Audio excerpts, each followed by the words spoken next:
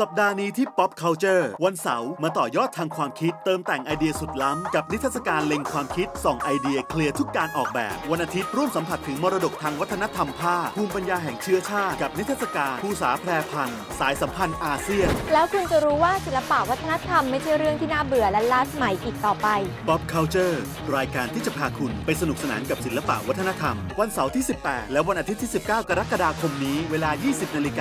า35 นาทีอมรินทีวี